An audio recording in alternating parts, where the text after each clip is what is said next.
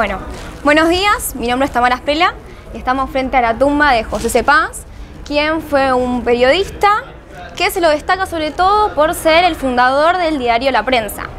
Es una bóveda, ya que es un monumento funerario muy lujoso, que se construye sobre la tumba de un grupo, de un grupo familiar, que en este caso es la familia Paz. Ahora bien, es una tumba que terminó, se inauguró en el año 1904 y que su escultor es el francés Jules Coutan, quien se caracteriza por la perfección en todas sus obras y que cabe destacar que por el grupo escultórico que realizó en esta tumba gana una medalla de honor en París.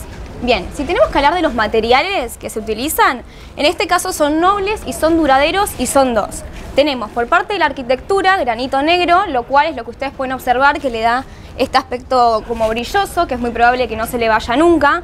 Y para la, todo lo que es la parte de las esculturas tenemos el mármol blanco de Carrara, que es más poroso, pierde el brillo, pero es, muchísimo, es un, elemento, un elemento mucho más maleable y es lo que sirve para dar los detalles y esta profundidad. Es muy probable que el granito negro haya venido de la zona de La Rioja o de Córdoba, mientras que el mármol seguramente venga de la zona de Massa Carrara, en el centro de Italia, que es donde se encuentran los mármoles más aptos para la escultura. Ahora bien, si nos tenemos que referir a los estilos que encontramos, como influencia principal tenemos la Grecia helenística. ¿Por qué? Porque es un periodo que se distingue por la belleza idealizada, por el sentimiento, por la expresión, por el movimiento, que si nos fijamos se le da tanto por los pliegues que tienen las túnicas, así también por el eje del cuerpo, que son líneas diagonales, líneas oblicuas, y por el dramatismo. Particularmente, esta es una bóveda que tiene una gran recarga dramática escultórica.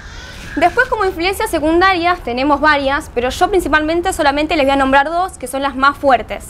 Primero tenemos el barroco. El barroco ¿por qué? Por la recarga ornamental, por la expresión, por el dinamismo y por el uso de alegorías. Y el romanticismo, otra vez, tenemos de nuevo lo que es el dramatismo, el movimiento y el cuidado tanto en los detalles como en las texturas. Cabe destacar también que lo que es la Grecia helenística por parte de la arquitectura, ¿qué pasa? Antes, los griegos, sus templos eran propagandísticos, lo que significa que importaba todo lo que era del exterior y no tanto lo de atrás. Si nos fijamos pasa lo mismo tenemos una gran recarga ornamental en todo lo que es el frente, pero casi nada de importancia en la parte de atrás. Bien, como es una obra que tiene muchísimo detalle, y está bueno que no se pierdan nada, dividí la obra en cuatro. Principalmente vamos a tener primero la base, que es toda la parte de las escalinatas. Después el cuerpo principal, que es donde terminan las escaleras, hasta donde dice familia José Cepaz. Tercero, el frontis. El frontis es de donde termina familia José Cepaz hasta esto que ven que termina como en forma de pico. Y por último y cuarto tenemos el grupo escultórico tanto de la parte superior como los de la base. Ahora bien, si empezamos por la base tenemos que toda la bóveda se encuentra montada sobre un crepidoma. ¿Qué es un crepidoma? Es una plataforma escalonada, que en este caso es de orden dórico porque presenta tres escalones, y los griegos antiguamente lo utilizaban para poder sobrelevar los templos y separar lo que era eh, el piso de la casa de los dioses. En este caso es exactamente lo mismo, se sobreleva la bóveda para separar lo que es lo terrenal de lo divino o de la casa de los muertos, si se lo quiere llamar de alguna forma. A su vez, el crepidoma está compuesto por el estilo vato y el estereovato. ¿Qué es el estilo vato? Es estos escalones donde podemos ver que se apoyan las columnas. Y el estereobato son los escalones inferiores. Lo último que tengo para nombrar desde la base es que se usa como un juego óptico. Antes los romanos para las columnas utilizaban lo que es el refinamiento óptico, que era ensanchar las columnas en la parte de la mitad para que parezcan perfectas y las que estaban unas al lado de la otra usar como otro truco para que queden que eran equidistantes, que tenían la misma distancia cuando en realidad no era así. ¿Dónde podemos notar eso? Si ustedes se fijan, la bóveda tranquilamente podría haber terminado en estos dos escalones. Sin embargo, se les agregan lo de los costados para dar como una sensación de amplitud, como si en realidad la tumba fuera más grande de lo que realmente es. Bien, si pasamos al cuerpo principal, tenemos que se puede agregar un tercer material que es el bronce. ¿Dónde? En la parte de la puerta. En la puerta encontramos muchísima simbología funeraria. Por ejemplo, si bien en el medio tenemos un león. El león simboliza fuerza, simboliza poder, pero se dice que la presencia de los leones dentro de los cementerios son aquellos que son como guardianes, son los que custodian la puerta de un mausoleo o en este caso de una bóveda. Si se fijan a los costados del león, tenemos la flor de lis. La flor de lis suele representar em, como la imagen de Cristo. Y todo esto está dentro de un círculo. El círculo también en los cementerios simboliza como lo sagrado, el todo, la perfección. Si vemos un poco más arriba, tenemos lo que es una cruz latina, más precisamente una cruz de, Malta. Ahora bien, si pasamos a lo que es la parte del granito negro, tenemos que en estos dos costados hay unas columnas dóricas, las cuales no tienen base, tienen un fuste liso y un capitel que tiene un solo anillo. Y estas dos del medio también no tienen base, tienen el fuste liso, sin embargo, el capitel es jónico. ¿Por qué? Porque esos dos círculos que podemos ver en la parte superior representan como el pelo de una antigua dama griega jónica. Bien, entre las dos columnas lo que vemos en el medio es un friso, un friso que en el medio tiene suásticas griegas. Se suele pensar que en realidad el significado de las esvásticas es algo malo porque se deformó con la llegada de los nazis, pero en realidad es que todo lo anterior son significados buenos, ya que en este caso simboliza la buena suerte, la felicidad. Arriba tenemos una cornisa en la cual en bajo relieve se encuentra familia José Cepaz. Ahora pasamos a lo que es la parte del frontis. Esta forma circular que ven arriba es un arco de medio punto, que si nos fijamos se vuelve a repetir la simbología del círculo y de la cruz de Malta. Bien, del mismo lado del frontis, a la misma altura pero de costado, que ya los voy a hacer correr, tenemos eh, una corona de laurel, lo mismo que acá, que las coronas de laurel simbolizan em, la gloria. De costado también, alrededor de la corona de laurel, tenemos una serpiente. La serpiente, en este caso, simboliza tanto la perfección como la reencarnación que... Acá la tienen que ver. Sí. Más de costado. La serpiente significa la reencarnación, lo cual tiene muchísimo sentido en esta obra. Dentro de un rato vamos a ver por qué. Como cuarto y último tenemos el grupo escultórico. Si nos fijamos, esta bóveda tiene la presencia de tres ángeles. Los ángeles suelen simbolizar, son como los mensajeros, como si fueran los intermediarios entre lo divino y lo humano. Si recuerdan, al principio les dije que una característica principal de la Grecia helenística era el movimiento.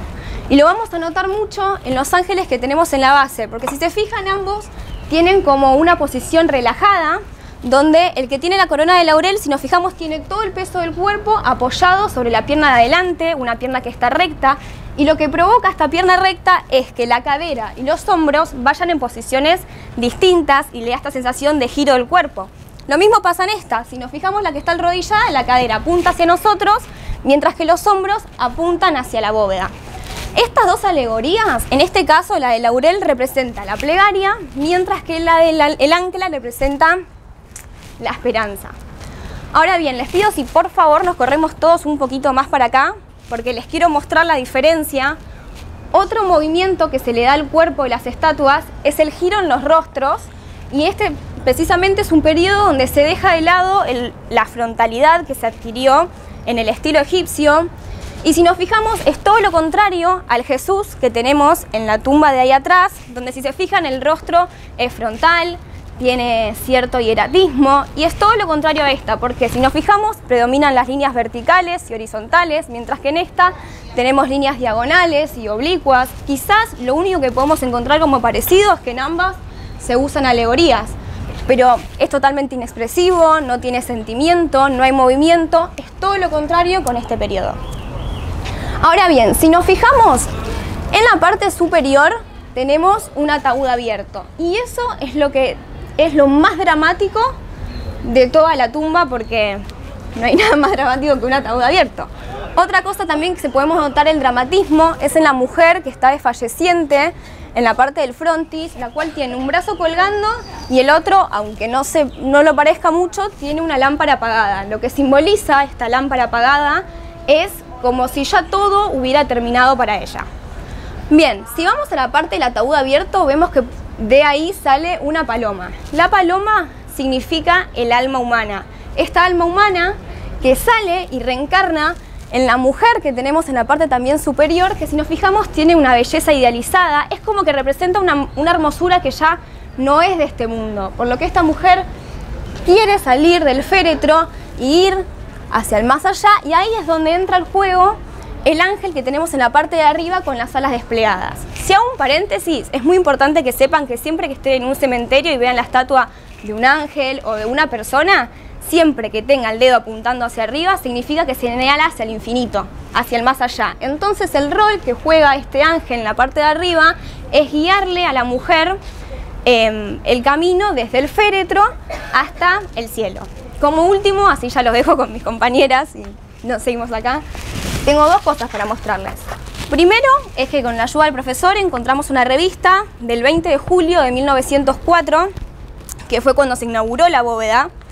No se ve bien, está un poco mal escaneada, pero si les cuento ya en ese momento, primero que alaban muchísimo al escultor y se atrevían a decir que era una de las mejores tumbas que teníamos en el cementerio, que es la más hermosa, la que tiene más detalle.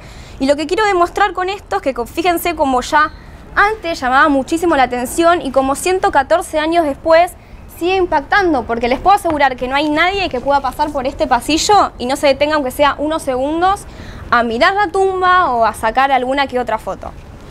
Y como último les traigo otras obras del autor precisamente dentro del cementerio, porque en la ciudad de Buenos Aires y en París tiene muchísimas esculturas, como para que vean un poco las características generales que comparte precisamente con esta.